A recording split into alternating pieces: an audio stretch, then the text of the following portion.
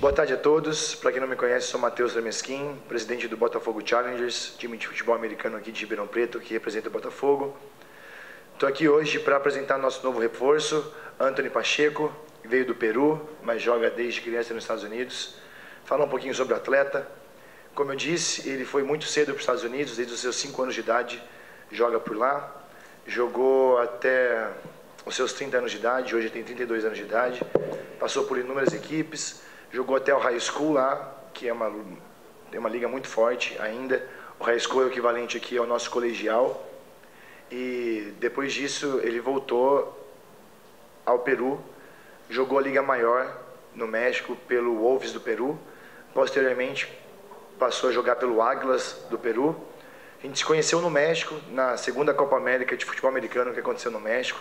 Jogamos contra ele, ele participava da seleção do Peru foi quando chamou a nossa atenção, não só nossa, mas de todas as equipes basicamente presentes no campeonato.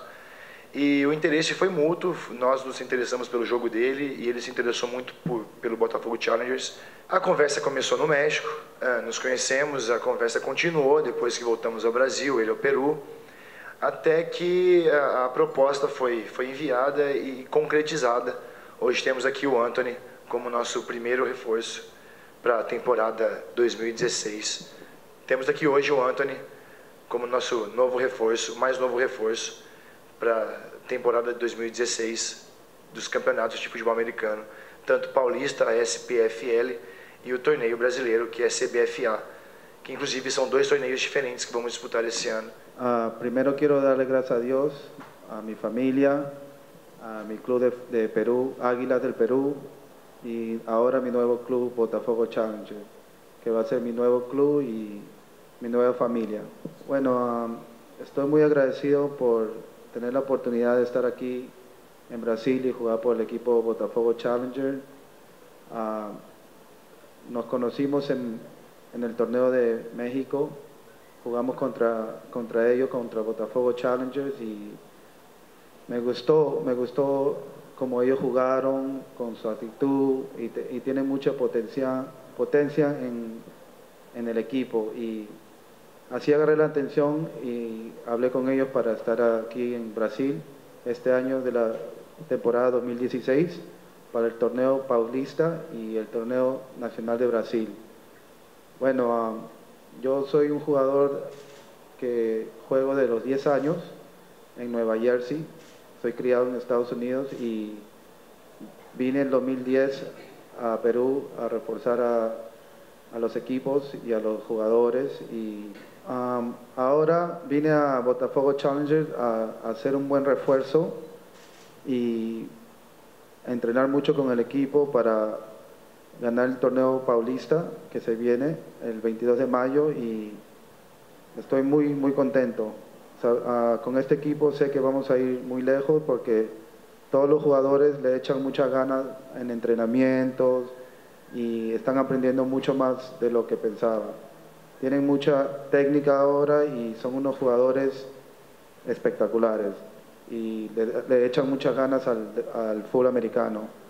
Y me siento bien aquí con mi nuevo club Botafogo Challenger y como les digo, ah, yo soy un jugador que amo este, este deporte y cuando yo estoy adentro de la cancha dejo 100% en el campo y así voy a hacer hasta, hasta que gane un torneo aquí, el torneo paulista, es el primer torneo. Quiero decir que vamos a tener una buena temporada el 2016. Ah, tengo muchos aspectos, aspectos que que vamos a tener un buen torneo y vamos a ganar juegos y tener muchos juegos ganados para, para hacer un, equipo mejor y seguir adelante. Bueno, yo soy un jugador, yo juego a wide receiver en ofensa y en defensa juego strong safety. Mi más poderoso es en defensa, porque me gusta dar muchos golpes a los jugadores. Y en, en ofensa soy, tengo unas manos muy, muy, muy buenas, muy bon. Y yo sé que voy a ayudar a este equipo a, a salir adelante y a ganar juegos. É, dos jogadores que a gente enfrentou no México, ele foi um que, que encantou nossos olhos por isso. E a gente conheceu ele jogando na defesa, principalmente. É, eu acho que só contra a gente que, que eu realmente o vi jogar como wide receiver e causou um grande estrago na nossa defesa, inclusive. É, sem sombra de dúvida, o nível dele estava acima do resto do time dele, da seleção do Peru e do, da, da, da grande maioria dos times que, que disputaram o torneio do México. É, ele tem muita experiência. Jogar desde criança numa liga como os Estados Unidos, seja ela qual for, é muito diferente. Esse ano vamos disputar dois torneios novamente, o paulista e o brasileiro, mas são torneios diferentes do que a gente vem disputado nos anos anteriores. A gente vai disputar um novo paulista, que é a SPFL, a São Paulo Football League. É, são os oito grandes de São Paulo. Já, a maioria dos times vinculados a clubes de soccer, como nós, Botafogo Challengers, Corinthians Steamrollers, um, Ponte Preta Gorilas, entre outros times de soccer. O nível está muito alto, tem também o São Paulo Storms, o Bluebirds de São Caetano, o Santos Tsunami. Uh, o nível é muito forte, muito alto, mais, forte, mais alto do que o nível da, da antiga FEFASP que a gente disputava. Não nos desfiliamos da FEFASP, só optamos esse ano por participar de uma liga que a gente acredita mais no seu formato, no que é proposto para os times.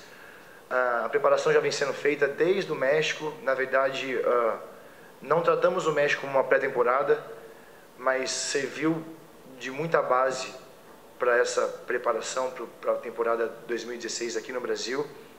A gente espera enfrentar grandes equipes, a gente enfrentará grandes equipes, mas nossa equipe está se preparando bem, como todos os anos. A gente nunca entra para brincar, a gente entra sempre para ganhar, fazer bons jogos e bons resultados. Ah, para a gente começa dia 22 agora de maio em Santos contra o Santos Tsunami, será a nossa estreia. Em seguida temos o, o dia 29 de maio em São Paulo, joga contra o Lusa, também uma equipe fortíssima, tradicional no Brasil. Mas é isso, a gente está treinando, estamos preparados, nos preparando cada vez mais, com reforços como o Anthony, como o Bambam, é, reforço já conhecido de vocês, que volta esse ano, o mexicano. E no segundo semestre, em julho, começa para a gente o torneio brasileiro, que é a CBFA. A gente também é um torneio novo para a gente, disputávamos o torneio touchdown, que por alguns problemas é, de logística principalmente, foi, foi afastado, foi, foi encostado e aconteceu uma unificação dos torneios brasileiros. Então, os times participantes do torneio touchdown hoje são todos participantes da CBFA. Hoje é a maior liga de futebol americano da América Latina. Tem 32 times na primeira divisão, tem a segunda divisão também da, da, da CBFA nós e todos os outros 15 times que migraram do, torneio touchdown, estamos a, ah, a gente ingressou na primeira divisão, então é uma responsabilidade muito grande. Sabemos que o nível também é muito alto. O nível do torneio touchdown já era muito alto. A gente vai encontrar agora novas equipes que não conhecemos muito bem por nunca terem enfrentado, eh, nunca terem enfrentado equipes do torneio touchdown. Então é um, mais um novo desafio. São mais jogos, são novas, novas viagens, novos, novas experiências. Mas, repito, enfatizo, estamos nos preparando, a gente nunca entra para brincar, a gente sempre entra para vencer. Olha, como o Anthony disse, eu acredito muito que ele pode nos ajudar. Eu já disse isso em outras vezes quando nos encontramos aqui para apresentar os reforços mexicanos. A gente não tem a pretensão de sermos os melhores, claro que não, mas a gente trabalha para isso e, e o trabalho é gradual. O Anthony não veio para ganhar jogo sozinho, como nenhum reforço que a gente traz vem para ganhar jogo sozinho. Eles vêm nos ajudar, eles vêm nos ensinar como fazer, é, compartilhar a experiência que eles têm, que é muito maior do que a nossa. E isso é muito válido, eu tenho muita confiança nisso, deposito todas as minhas fichas no futebol que o Anthony tem para desempenhar e para ensinar para a gente. Eu acredito seguramente que, que vamos fazer um bom torneio paulista e um excelente torneio brasileiro.